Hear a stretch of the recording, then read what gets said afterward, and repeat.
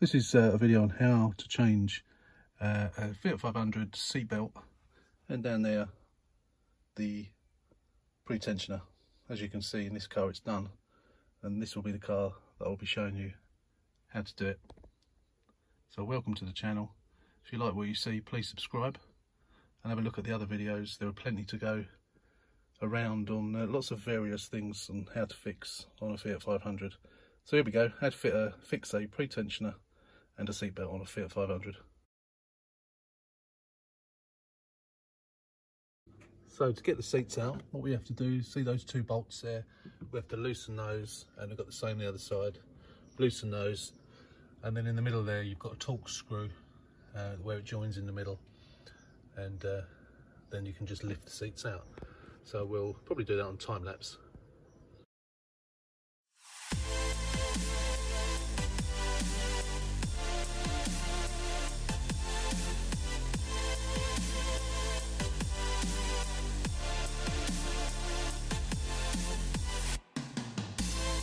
That's out. Um, it was a bit fiddly, uh, as it always is. I tried to not move, remove everything from the boot this time as well, as I normally do. Uh, and then what we now need to do is we go around into the car and you've got one bolt either side and then that uh, the rear seat will just then lift out easy really um, underneath that black panel there is the fuel pump you take those four bolts off and the fuel pump is under there. Fuel sender unit rather I should call it not the fuel pump. Um, also what we need to do now uh, is you have to remove this. You've got a screw just there and then it just pulls off. I think. I don't think there's any more screws. Oh yeah no sorry there's another screw just there as well. So you have to re release those two um, I'm not sure whether we're going to have to, yeah, we are, we're doing both, aren't we? So we're going to have to do it both sides. Do one side at a time and then put it all back on. So again, I'm going to uh, do some of this in time lapse and some of it in real time. As you saw, I've got those screw, two screws undone and then you just pull that panel off. That's held on by those grey, um, don't know what you call them really, those little clips. They're quite tight, they sort of grab on uh, they can quite easily fall out, they can quite easily break, especially when you're putting them back in again. So now I'm gonna, what I'm going to try and do is set the camera up inside uh, and show you how to get off the uh, inside panel. Move inside the car. Um, what we have to do, you move the seat as far forward as you can get it. I did do it this once when I took the seat out. It was a lot easier, but you don't need to take the seat out. So again, we've got more Phillips screws. I've got another screw down there, and then there's another one in there as well. Uh, once you pull this off, you just, once that screw's undone, you can just yank it upwards, move it outside of the car. You don't need to take it right off. Um, so obviously the aim of what we've got to do is remove this panel. And to do this, um, ideally to do this, you remove that bolt. Now that bolt, as you can see, there's nice and silver. That's the seatbelt anchor bolt for the rear seatbelt. That goes to the outside world. And unfortunately, nine times out of ten, if you take that out, one, you'll either never get it back in again, or two, it will it will shear off because it's rusty the other side. So I tend to leave it alone as much as I can. So what I do is I undo all the others. You have to take this panel off. You've got to get this off. Um, and then I just move it all out the way, which allows you enough room to get to the bolt for the seat belt and the bolt for the pretensioner. That all has to come off. So I'm going to try and uh, set the camera up on the stand, on the tripod, put it on time lapse and show you exactly what I'm going to do. So under there is the bolt. So obviously that has to come off, which allows you to take that off. There's another screw under there. Um, yeah, as I say, another screw under there as well, which you unscrew. And then this is all held on by just clips. And then you can just pull the whole thing off by clips and then it will just bend on that bolt. And as I say, if you stand outside of the car, there's enough room for you to lead in get a spanner or a socket wrench on the two bolts, uh, one for the seatbelt, one for the pretensioner, and then they just lift out. So it's not a difficult job. Uh, it's just annoying that you have to take all this trim off. There's your wiring loom, the one that goes to the boot. Um, what I am going to do before I do any more is I'm going to disconnect the battery. Um, obviously the seatbelts do have pyrotechnics in, as do these. I don't think these have gone because it hasn't pulled in the, the cable. But according to micro, uh, I keep calling it micro, multi-ECU scan, um, the resistance is gone. So they do need replacing, even though they haven't pulled through, uh, which is a shame. Don't really know why that's the case, um, but it is. So they're just going to be replaced. I've got a, I've got another set that I got with the seat belts, um, so we'll just change them. We've got to change them. we've Got no choice. Uh, so yeah, before you start fiddling around with seatbelts or airbags, um, you need to disconnect the earth terminal of the battery. You don't need to take the battery out. You don't need to disconnect the uh, the live terminal. Just taking the earth quick release off is uh, is enough. So I'm going to set the camera up now on tripod, and uh, we'll put it on time lapse.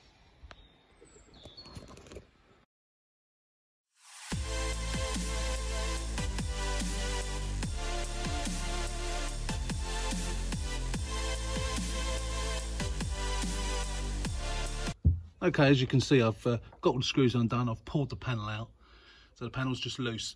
As you can see down there, the pretensioner, because this pretensioner has not actually retracted the cable, it's more difficult to get that through the hole without taking that rear seatbelt mount off. But you can do it because uh, you can sort of lift it up out of the way and uh, it's actually easier once you've got the bolt done undone on the pretensioner. So I'm going to do it in real time taking the pre-tensioner out um, and then we'll take the seatbelt out as well. I'm going to try and film as much of it as I can in detail but obviously it's a bit awkward with the camera trying to get the camera in there but I'll do my best.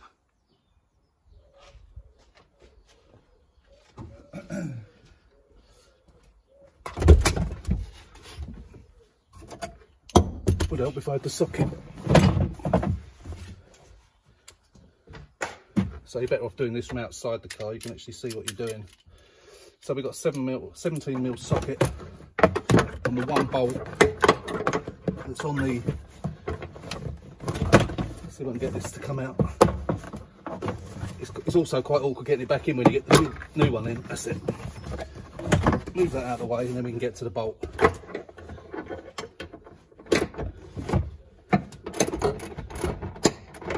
And that's it, that's undone. Much, easier.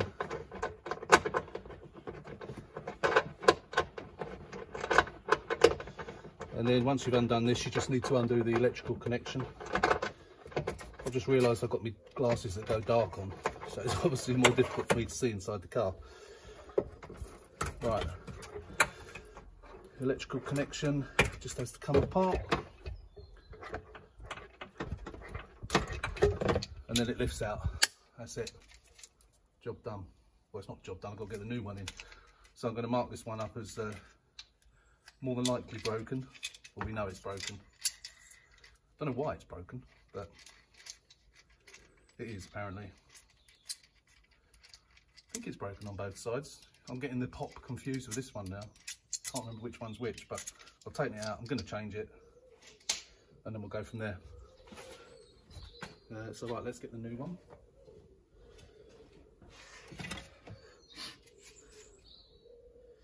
Uh, get the right one left hand side. So that's that one.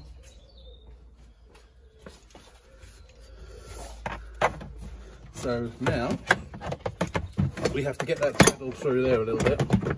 It's best to do it before if you can, but I think I think actually what I'll do is I'll take it back out. If you put the put the bolt in first, the bolts are very green actually, the way they've been.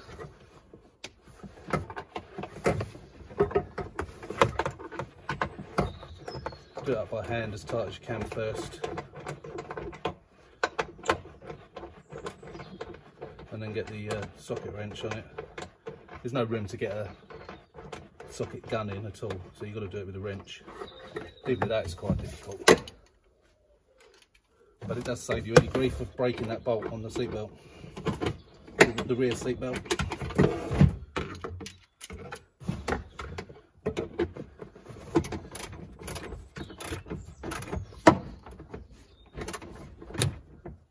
That's that done up.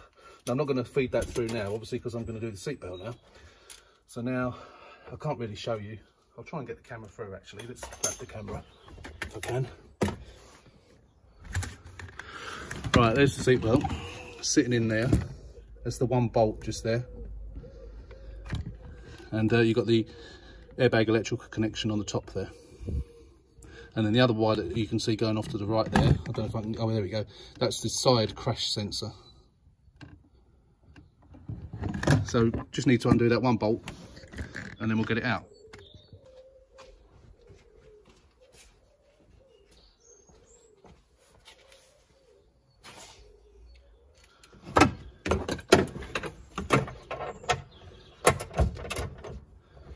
Same size bolt, not difficult to undo. Once you've got it started, it comes out easily by fingers. You have to undo the electrical connection on the top, which is off. And once this bolt's completely out, then the whole thing just lifts out. Obviously, if it's got seatbelt attached to it, you feed it in through there.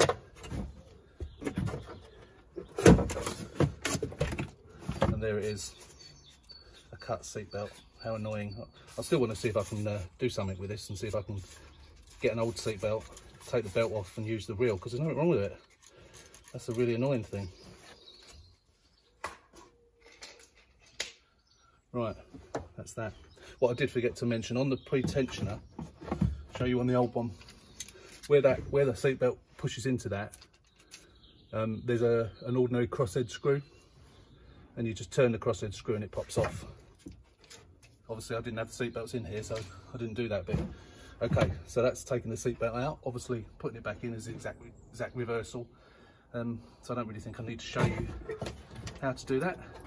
I'll just take the old uh, electrical connection off of the if I can get it off that's it. Off of the pre-tensioner and then that can just be plugged back in. I'll do that now actually. Plug back in pushed into position. Right that's that done. Okay, so now I'm going to get the, uh, the new seat belt and put that in.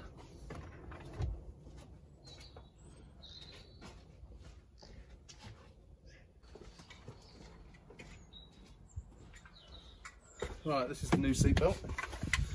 So basically the seat belt just sits in, um, sits on the ledge where you put the bolt in. It literally just pokes on, turns around the right way we feed that through there first. Just get it out of the way.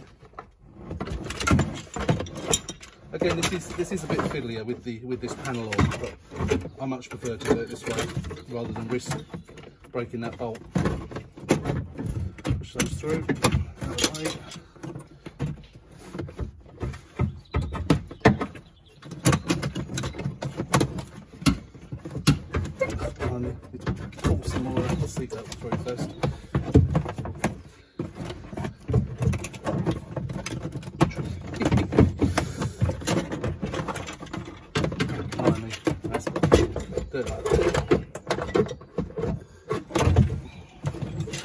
Once again, I got the seat back round the wrong way.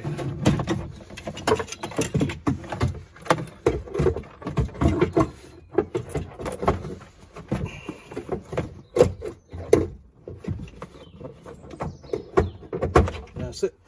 Get the bolt. It does help if you don't have your glasses on that go dark in the uh, sunlight because oh, it looks like I'm working doing with sunglasses on. That's a little bit dark inside the car, is it? Do that up by hand. Put the electrical connection back on.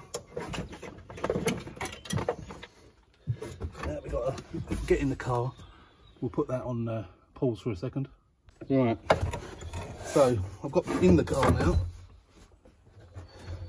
which isn't a very comfortable place to sit when there's no seats in it. So I'll fit the seatbelt through. Uh, what I've got to do, which I haven't done, is feed through the pre-tensioner. So try and do that from here without doing it from inside the car, outside the car, would be easier.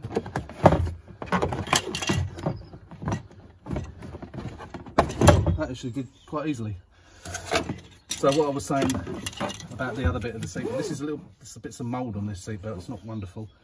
So as you can see, if you can get it, that's the crosshead screw, and all that does is push on there, And then to undo it, you just quarter turn it, half turn it, whatever it is.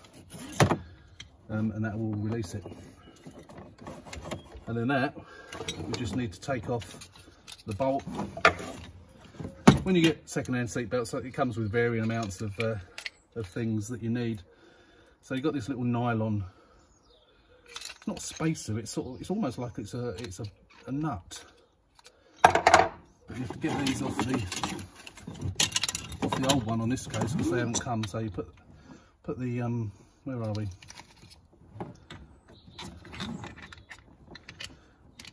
Put that through like that. Get the little nylon thing and screw it on. What you sometimes find on cars that have had airbags blown, obviously not airbags, sorry, um, seat belts that have blown, bearing in mind they haven't blown on this car, is because that pre-tensioner pulls the um, seatbelt tight uh, around the abdomen. Um, what you sometimes get, depending on how severe it's gone off, I think, it, it seems to vary, is this piece of metal here. Hope you can see that. Let me see if that bit's in focus, or even in the shot. Move it up a bit. No, it wasn't. There we go. So this piece here, where the seatbelt bolts into, that often gets deformed and points downwards. So it's sort of, the bolt has pulled it downwards and, and pulled it out of shape. So when you're putting that bolt in, you're going in at an angle like that. So this gets stuck and gets tight on this panel. The only way I've found to get around that is put some washers in. It's a bit of trial and error. And as I say, it does vary, but it is a real pain. So now those bits are in, tilt back down. Actually, no, we'll leave the belt where it is for a minute.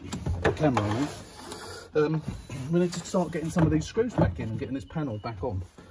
So we line up the tabs.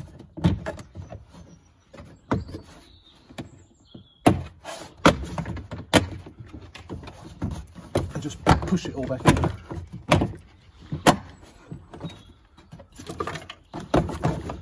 Some go in easier than others. That's it. Just keep pushing until they all go in. And then start getting these screws back in. Where's my screwdriver? Lost my screwdriver now, there it is.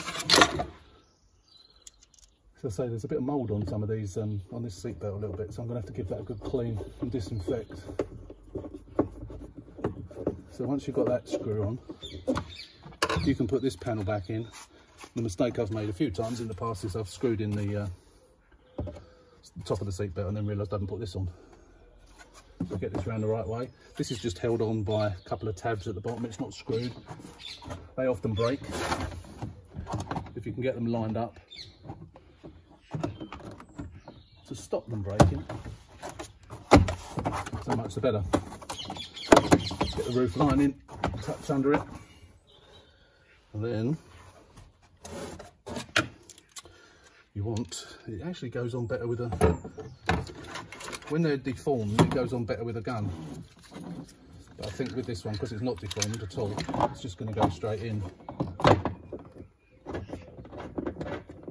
Yeah, it's going in five, which is a novel novelty. Doesn't normally do that. Uh, you don't do it up too tight you do it up more than finger tight, but if you do it up too tight, because when you when you do that with the seatbelt, it doesn't move. So again, sometimes you have to do a, bit, a little bit of adjustment. That's it, that's fine. That's it. So that's it, that's that's how to change a seatbelt. So it wasn't that difficult, was it? So that's sorry, how to change a seatbelt and a pre-tensioner. So all I'm going to do now is put in all the screws back um, that you saw me take out before put the uh, the door uh, the door rubber all needs to go back. Um, put that side panel on this this side panel on put that back on and then we'll do the same to the other side. I'm gonna have to move the car for that so I can get into the car from the other side properly. Um, but yeah that's um, that's it. That's how to do it. I'm not going to film putting it all back together. But um, that's the basics of it. Um, I hope that's really been helpful